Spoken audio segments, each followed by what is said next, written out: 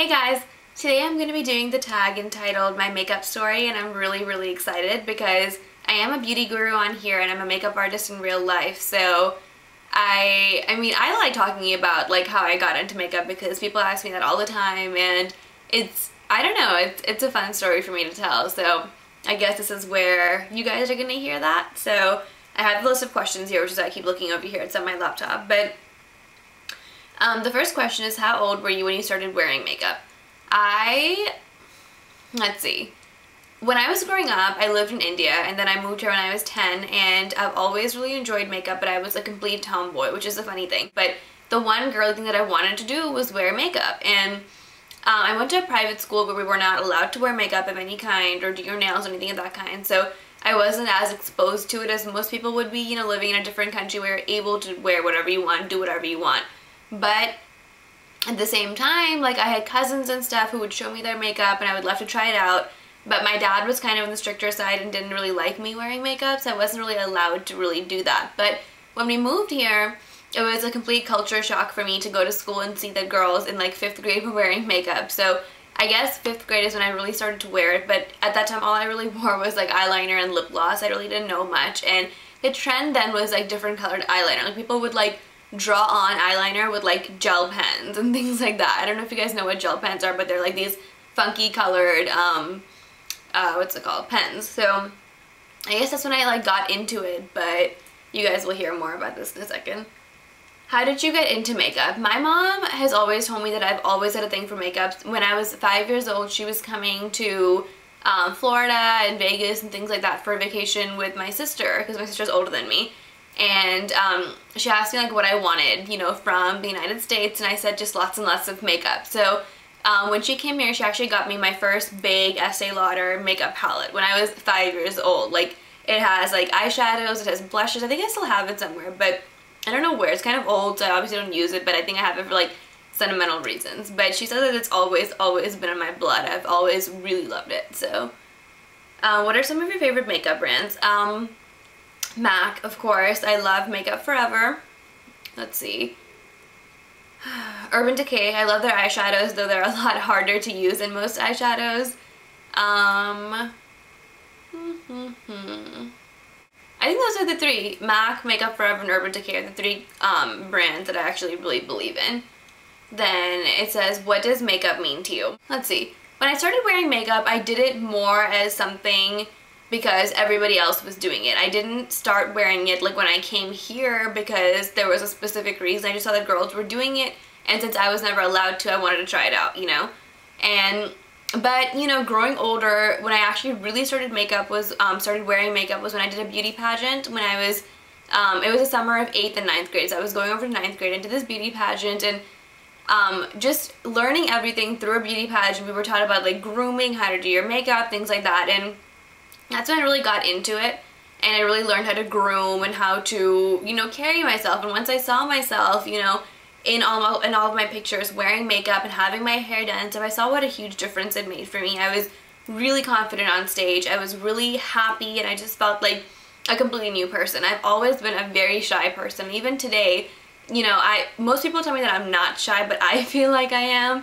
And I just remember like the day before the pageant I was having a heart attack. I did not know what I was gonna do, why I got into doing this, like why was I gonna do a beauty pageant? I have like no self-confidence, I didn't want to be on stage, I didn't think I was pretty, like I didn't want to do any of that. And then as soon as I got my makeup and hair done and I went on stage, I was so happy and everybody told me like I was one of the most confident girls doing it because to me I looked in the mirror and I saw somebody completely different and it just gave me a huge confidence boost and I'm not saying that you should wear makeup to gain confidence. It shouldn't be like that because makeup is not a mask. It should be used to to better, you know, whatever you already have, to accentuate your features, not for you to hide behind them. But for me, it was just about confidence. I just changed as a person. But more than that, I really enjoyed doing makeup. Like, I would look forward to going to sleep and waking up because then I knew I could do my makeup. So I guess that's when I really, really, really started to wear makeup. Like, after the pageant was done and ninth grade began, every morning I would wake up like 30, 45 minutes early just so I could get myself ready and I really looked forward to that. So, you know, it really became a true passion for me, you know, at a very young age. okay, if you could only wear four products in your face, what would they be? It would be eyeliner, mascara, lip hydrant, and foundation. The reason for that is because I have always worn eyeliner. You know, I mentioned to you guys that, that was probably one of my first makeup products that I ever used. So I'm used to seeing myself with eyeliner and if I don't wear it, I don't feel as alive. I don't know. It makes my eyes just look, I don't know, small and not as pretty. I don't know. And mascara, I actually didn't wear it for a long time. I actually got into mascara very recently, which is funny. I actually got into it probably my sophomore year of college. Before that, I would do eyeshadow, whatever, and I never wore mascara but I really saw what a difference it made for my eyes and it just really opens them up which is why I love mascara.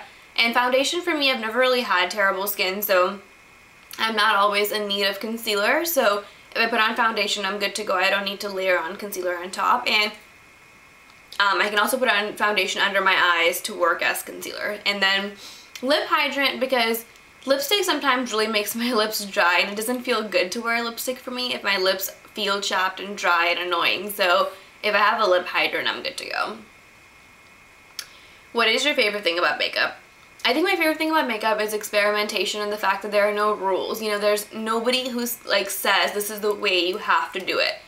Um, you know, in every other subject, I guess science, you know, mathematics, whatever, there are formulas to come up with a correct answer and there's only one correct answer.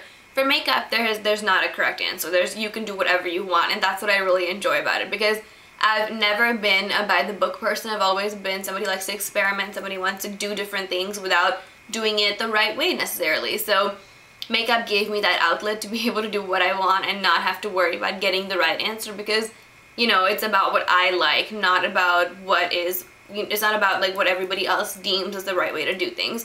The reason I say that is because, you know, Blush can be worn as eyeshadow, mascara can be worn as eyeliner, you can wear lip liner on your eyes, like there's no real formula for makeup, so you can do what you want and be happy about it, and I really, really love that. There's nothing better than going out there and knowing that no matter what you do, there's really no way you can mess up or do something wrong. Then it says, what do you think about drugstore makeup versus high-end makeup? I think that they're both really good.